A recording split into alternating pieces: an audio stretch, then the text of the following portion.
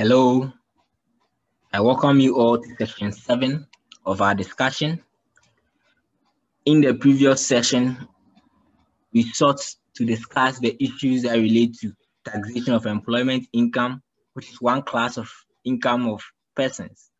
Today, we'll be looking at the second one, which is how to determine business income and therefore taxation of business income. So at the end of the session, you should be able to clearly define what constitutes business income and also how carryover losses issues are dealt with. Also, if you have a segmented business, how do you deal with your tax issues?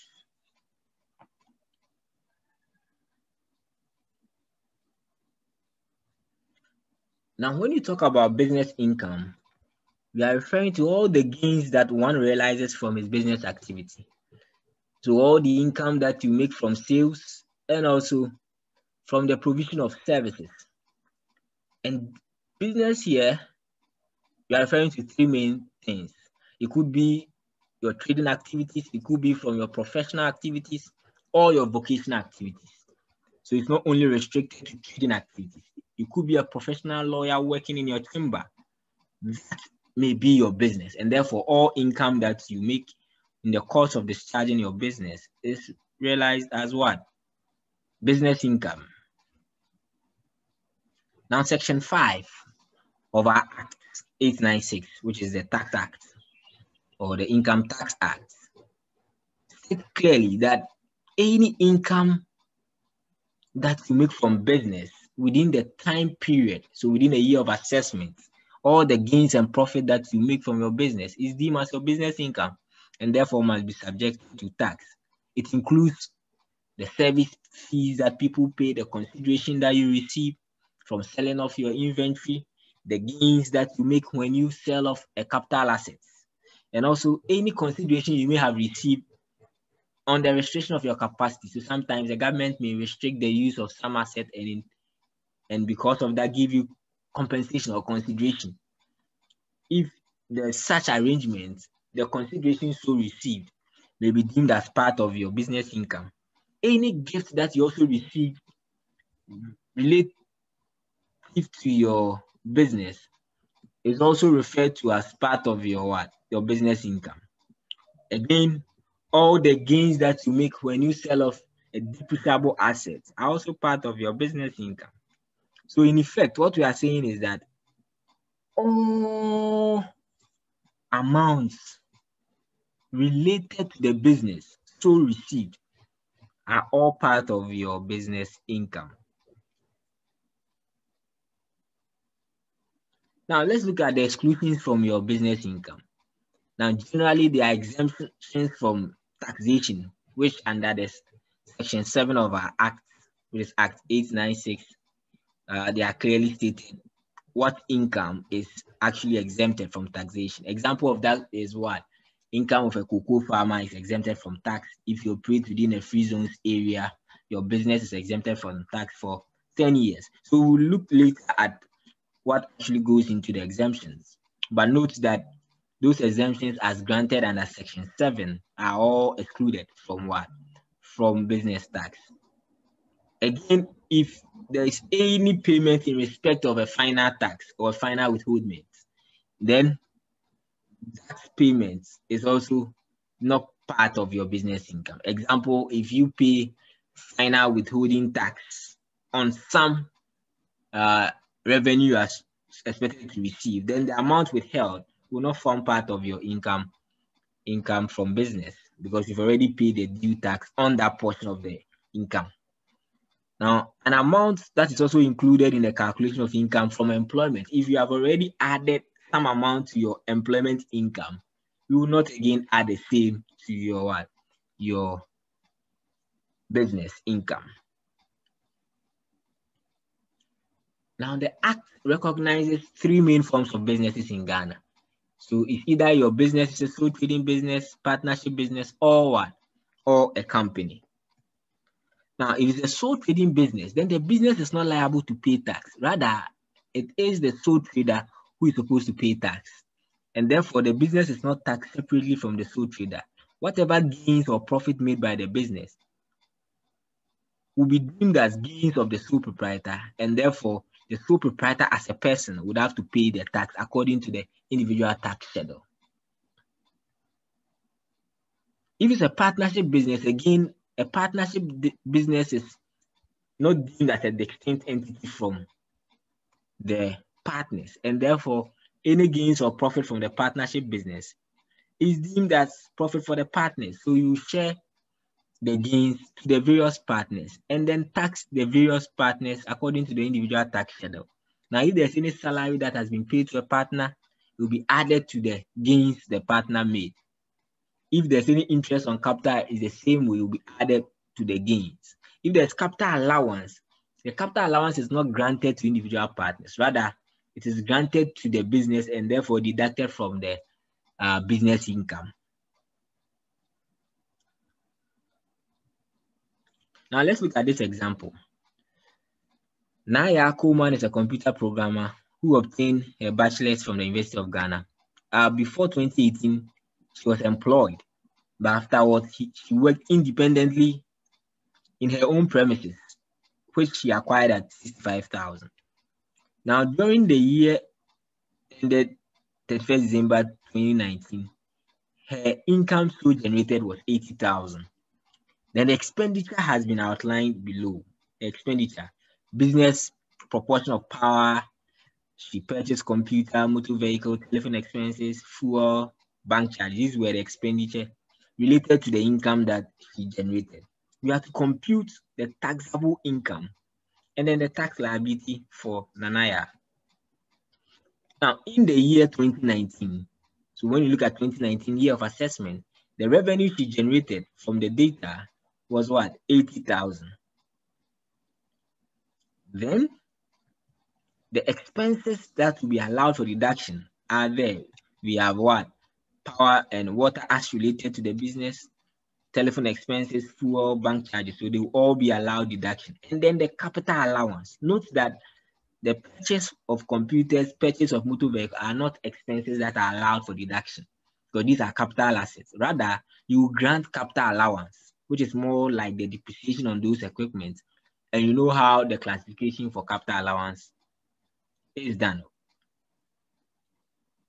So this will give us the taxable income from business as what 13830. Having deducted all these expenses from the revenue, it gives us income to be subjected to tax at 13830. But remember, because Nana Yaa is operating as a sole trader, this income will be deemed as income for Nana Yaa and therefore will be subjected to the individual tax schedule. So this is how the tax schedule is. In any exams, the tax schedule will be given to you. The first 3,456 is not taxed, so the rate is zero. The next 1,002, the rate is 5%. The next 1,680, the rate is 10%. Any excess is at 17.5. So this tax rate will be given so the first one is free, so that's dash. The second one, after this, the second thousand or the next thousand two hundred. So you add up to this, it gives us four six. We subject the thousand two hundred to five percent, which is sixty tax. So it means that as at this point is only sixty tax. Then the next one six eight. Remember this is a tax schedule, which will be given in any exams. So the next one eight sixty will be subjected to ten percent, giving us a cumulative of six three three six. And then the 10% of this gives us 168, giving us a cumulative 60 plus this of 228.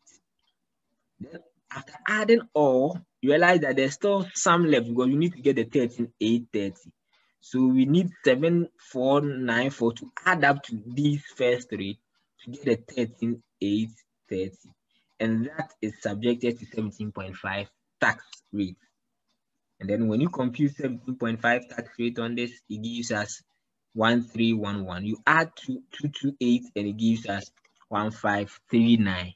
So that is the tax to be paid on the business income of sole trader. Now, if it's a company, remember companies are share persons and therefore the company as a body will be taxed separately from the shareholders. So the company will be taxed and the dividend paid to the shareholders will also then be taxed. Now, if the business for some reason decide not to distribute profit as dividend, the Commissioner General would deem if portions of the profit should have been distributed as what? As dividend. So if he decides that yes, this portion of the profit should have been given out as dividend, he would so declare it as dividend and tax the dividend. So where the Commissioner General is satisfied that a company controlled by not more than five persons and the associate does not distribute to its shareholders as dividend a reasonable part of its income from all sources on the basis for a basis period within a reasonable time after the end of the period, the commissioner may, by notice in writing, treat that portion of the business income as what? As dividend distributed and therefore charge the needed what? Tax on dividend distributed. Now let's look at the second scenario. It's just as the first one that we just discussed. The only difference is that here Nana Yaa did not form a sole trading business, but rather formed NYC company. So the difference is here is a company and not a sole trading. Now, because she formed a company with the same data or information provided, you realize that yes, revenue will be the same as before, as we saw in the sole trader, the expenses are the same. But when it comes to taxation of companies or corporate entities, it is not subjected to the individual tax schedule. Rather, all companies have a tax rate of what? 25% generally. But if you are in the hotel industry, you have 22%. But generally, the corporate tax rate is 25%. And that will give us 3458. Realize that because it's a company, you not go by the individual tax schedule. Rather, you use the corporate tax rate of 25% to determine the tax to be paid because it's a company. Now, in business, there are two things. It's either you make profit or you make losses. When you make profit, the profit will be taxed. So government will benefit. What if you make a loss? Then the person operating the business also benefits because if I make profit and you tax me, if I make a loss, you also allow me to benefit. But the government will not then pay the person the income. What the government will do is that for suffering the loss, you'll be allowed to carry forward the loss to reduce your tax liability for the next or the, the subsequent periods. So when you read section 17 of the Income Tax Act, it defines what a loss is. It is the excess of amount deducted in calculating the income that a person from the investment for business over the ones included in his income. So when your expenses exceed your income, then definitely you are making a what? A loss.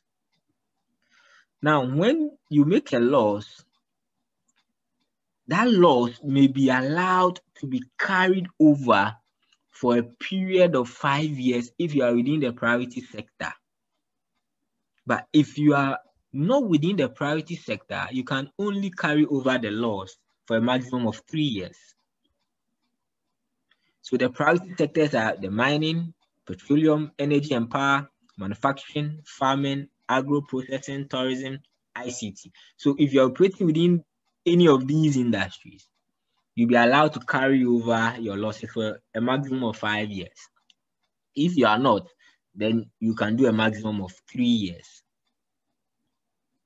Now let's look at an example. Mining company started business 2016 in its first year of operation, it declared a loss of 800,000. Determine the number of years that they can carry forward the loss. Remember, they are in the mining industry and the mining is within the priority sector.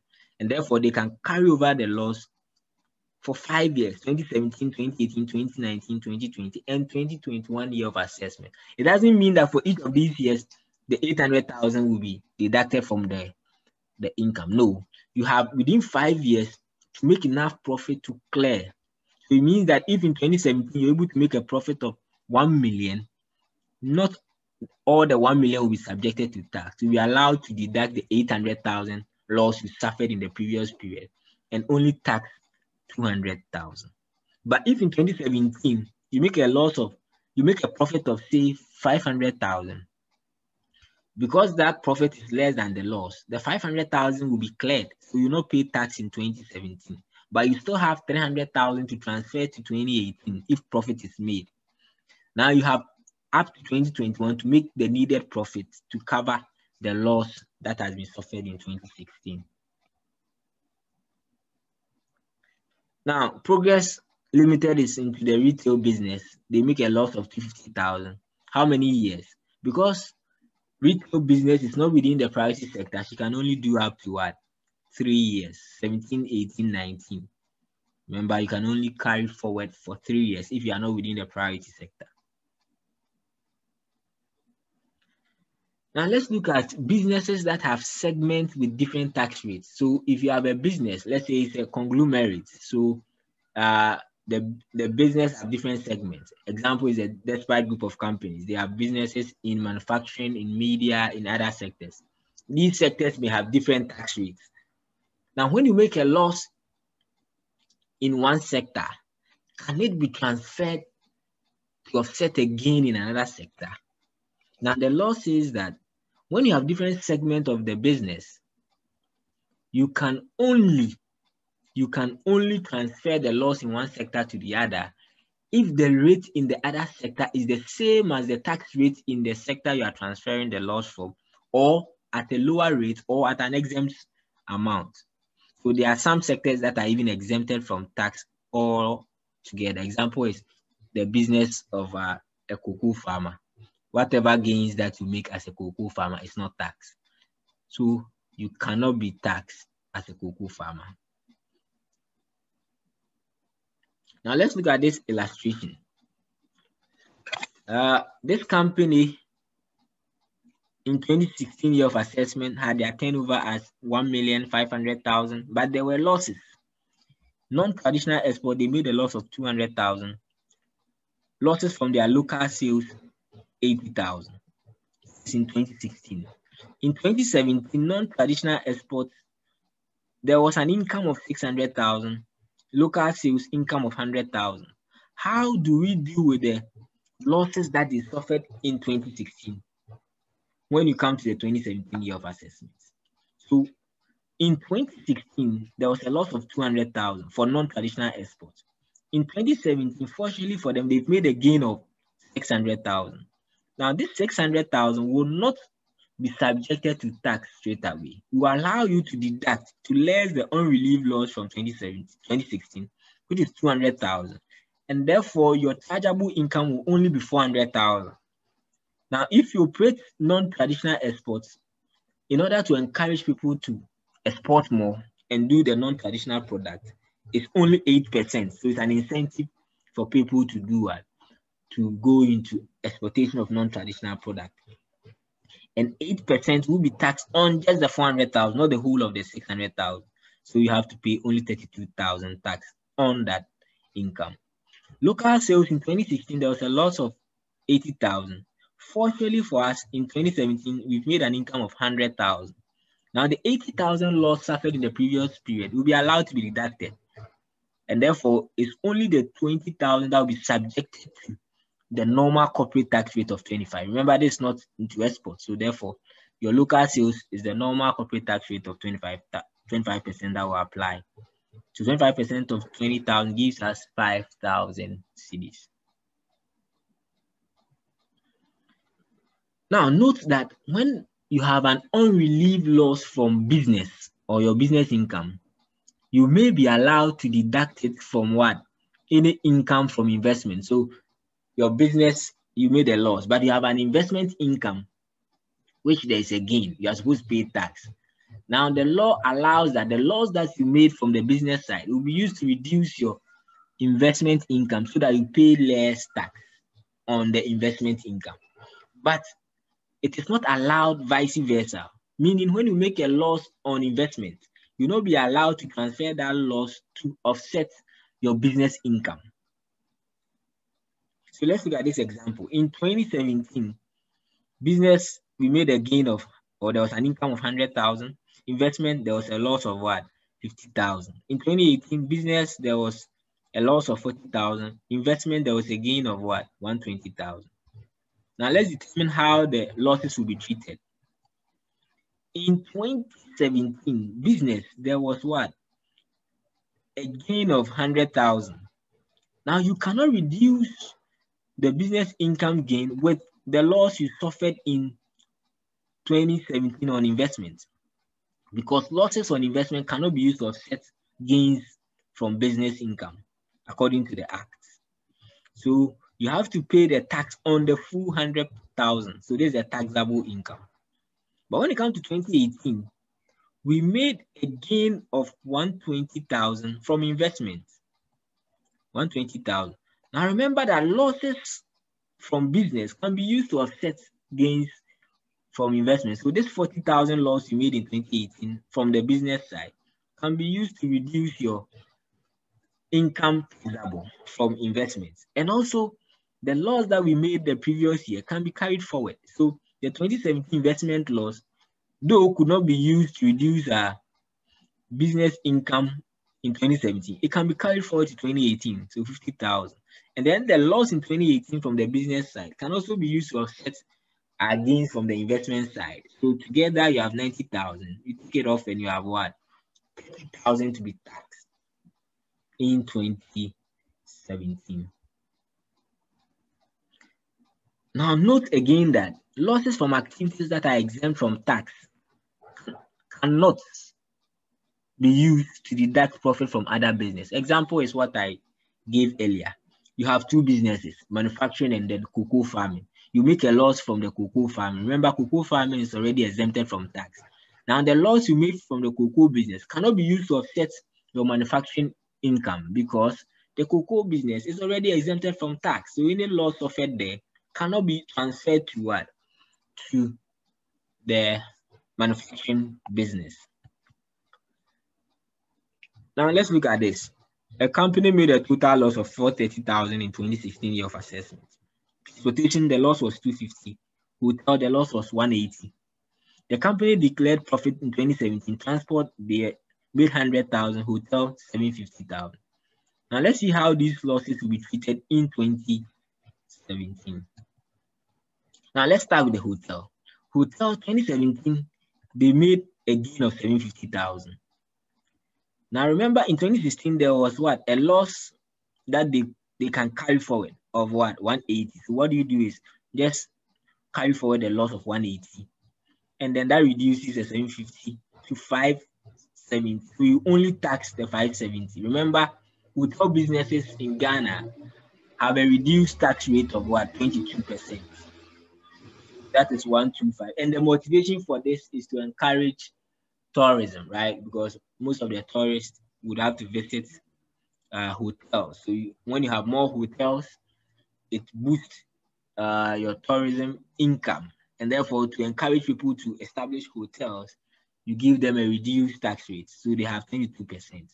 And 22% of this is 125. Now let's come to transport operations. In the year 2017, there was a, a profit of 100,000. So that is the 100,000.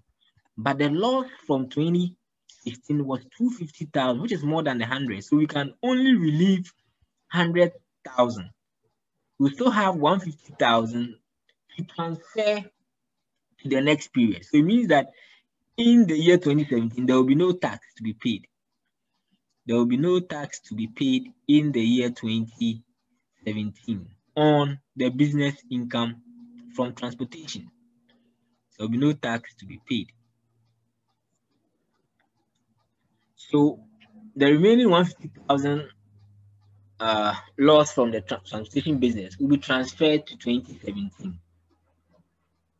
Note that, like I said, the third paragraph of uh, the first shadow of the act says that businesses that are into uh, that are into hotel do 22, but all other companies will have a tax rate of 25 percent or have a tax rate of 25%.